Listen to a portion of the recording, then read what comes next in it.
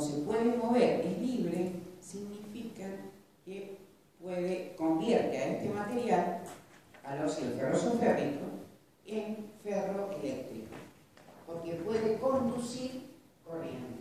Sería una especie de semiconductor, por eso se explica dentro del semiconductor. También posee propiedades magnéticas, que es lo que me estás consultando ¿Por qué propiedades magnéticas? Si hablamos de momentos spin, dentro de lo que es propiedades magnéticas que ustedes han visto anticipados, el momento spin del hierro más 3 en los sitios tetraédricos se va a cancelar con el momento spin del hierro más 3 en los sitios octaédricos. En cambio, el momento spin del hierro más 2 en los sitios octaédricos se mantiene alineado, no se cancela. Y debido a eso, se considera que es un material que tiene propiedades magnéticas. Debido a que el momento spin del hierro más 2 está alineado, no se puede cancelar. Todas estas, eh, estas em, propiedades que me hablan de magnéticas tienen mucho que ver con la magnética. Después, em, yo les he hablado de las, em, les hablé después de, todas las otras propiedades como es las otras estructuras ya las hemos visto, ahora voy a hablar un poco de los silicatos, porque necesito enfocar lo que es la parte de vidrios y demás. Este es un tema muy, muy intenso, entre comillas. Yo he tratado de... Ustedes tienen el apunte, fíjense que tienen el apunte. Eso les salva la vida. Antes no estaba ese apunte.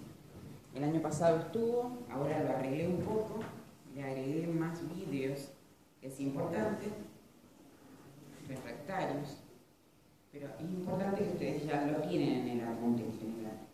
Entonces, como les cuesta tanto llegar a los libros, por ahí el Calister, que es muy bueno, lo pueden revisar también. O el Smith. El Smith en propiedades es buenísimo, es mejor que el Calister.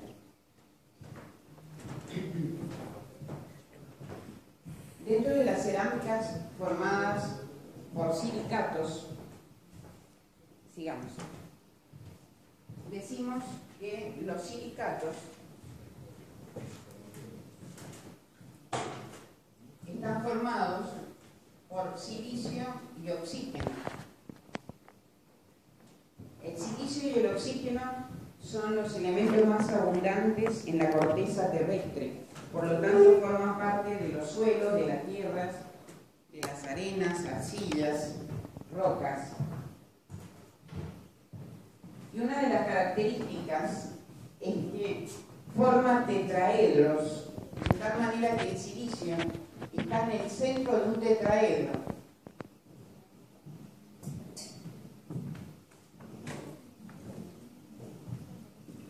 Sería el silicio y los cuatro oxígenos. Todos tienen carga negativa. O sea que el silicio está en el centro de un tetraedro cuyos vértices están formados por los átomos de oxígeno, por los iones de oxígeno. Sería silicio 2 en la fórmula química. Perdón, silicio, oxígeno 4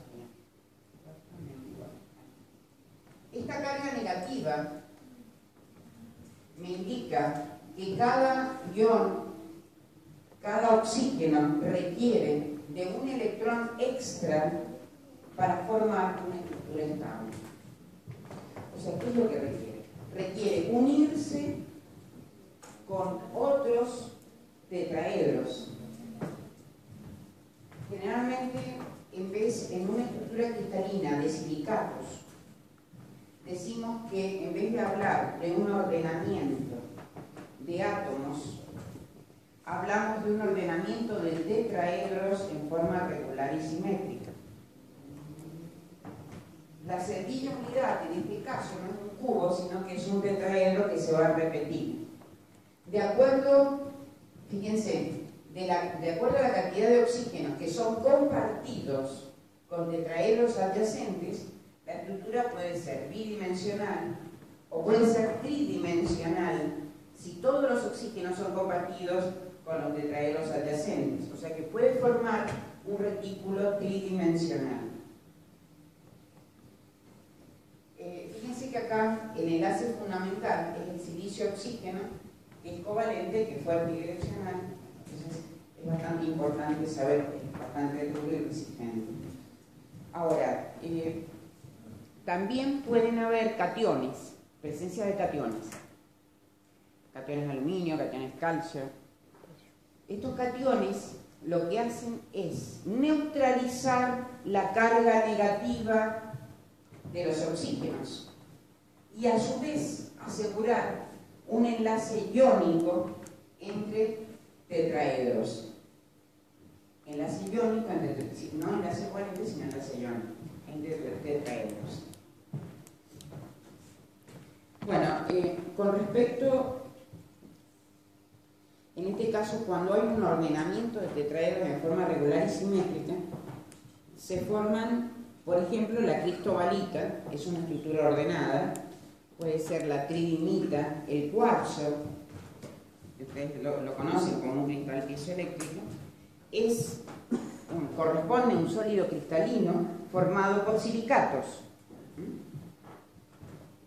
Estas estructuras, las estructuras formadas por tetraedros, cuando hay ordenamiento de tetraedros, como en el caso de la cristobalita, tridimita o cuarzo, son estructuras bastante abiertas. Hay poco empaquetamiento atómico o iónico. Entonces tienen baja densidad. Lo que sí, como el enlace de silicio-oxígeno es muy fuerte, hace que la temperatura de fusión sea bastante altas. Tienen altas temperaturas de.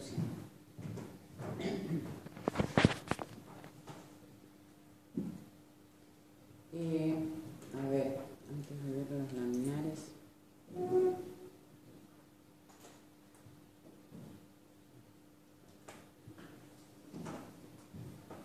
Hay silicatos sencillos, por ejemplo, el silicato de magnesio ya lo habíamos visto dentro de las propiedades eléctricas, que es la fosterita, que como no tiene iones alcalinos, es... No, no es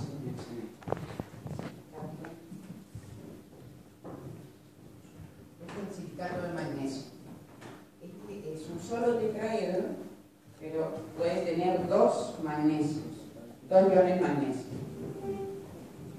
Eh, habíamos dicho que esa fosterita eh, tiene una eh, baja pérdida eléctrica porque no tiene iones alcalinos. Es bastante resistente. Eso es lo que habíamos calificado como fosterita. Después habíamos hablado, no sé si hablé de lo que era la porcelana en sí, que tiene eh, talco, tiene silicatos, tiene feldespatos. Generalmente son mezclas de varios compuestos y es muy importante, en el caso de la porcelana, que esté formada por eso, ¿verdad? La famosa porcelana, que es un material muy tradicional dentro de los cerámicos. Y que tiene propiedades eléctricas, pero no muy buenas. Por ejemplo, la porcelana, como tiene feldespato, el feldespato tiene óxido de potasio, por ejemplo, tiene iones alcalinos, tiene mucha pérdida eléctrica, tiene baja rigidez dieléctrica, pero generalmente es muy es de bajo costo, es de fácil fabricación, entonces a veces se equilibra una cosa con la otra, depende del tipo de aplicación. Bueno, acá están los silicatos laminares. Bueno, esta es la parte que me parece que no les puede llegar a gustar. Eh, a ver, los silicatos laminares, vamos a estudiar acá lo que es la arcilla. La arcilla es una estructura en láminas o capas. Los silicatos laminares tienen esta característica. Se forman láminas donde el silicio se une a tres oxígenos con enlaces covalentes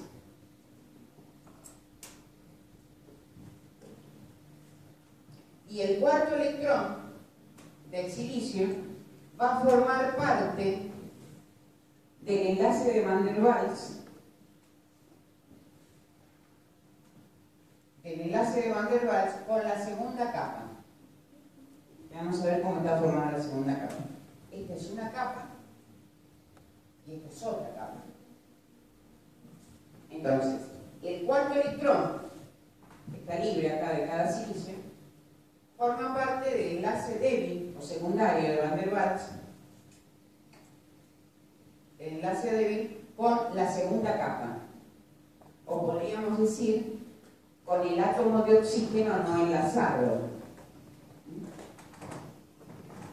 En realidad, esta capa se designa de esta manera, silicio 2, oxígeno 5, indica que la carga negativa de esta placa me indica, me indica el enlace de la capa con los átomos de oxígeno no enlazados. El cuarto oxígeno del tetraedro está sobre un plano perpendicular al plano del pizarrón. Estaría acá. En este caso lo he dibujado arriba. A ver, para verlo mejor, serían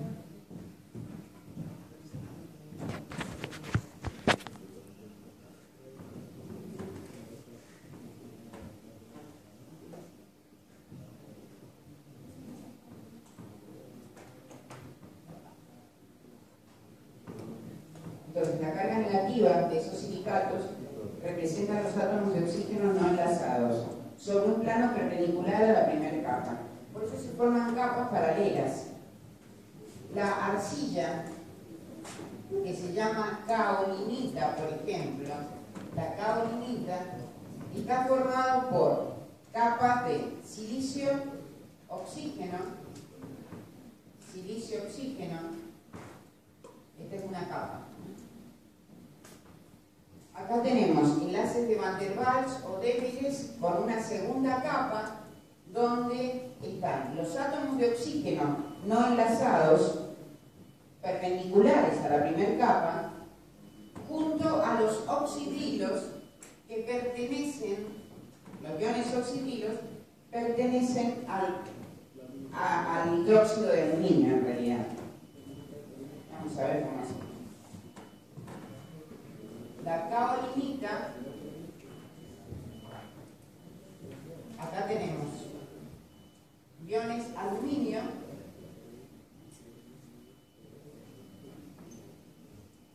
y se vuelve a repetir la capa negativa de oxígenos y oxidrilos. Entonces tenemos una capa que es de silicatos, silicio 2, oxígeno 5. ¿Qué es eso? Es una capa de hidróxido de aluminio.